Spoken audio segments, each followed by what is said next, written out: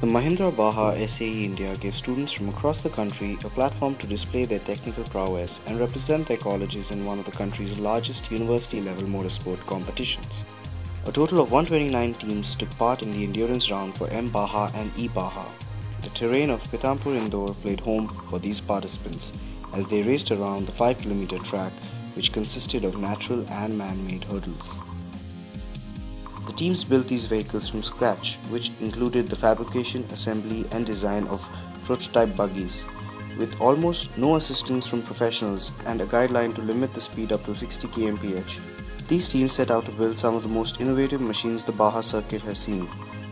These vehicles were tested in the dynamic evaluation round, where each team was given points on the basis of acceleration, speed, hill climb, maneuverability, and durability.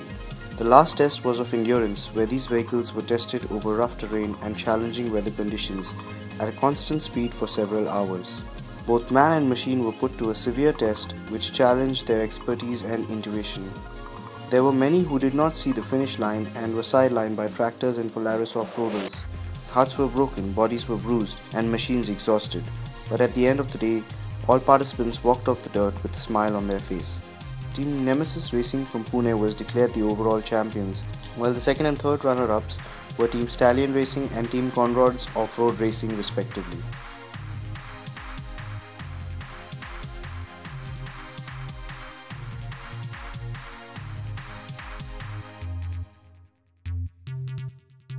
Maruti Suzuki premiered the new compact urban SUV, the Vitara Brezza, at the Auto Expo 2016.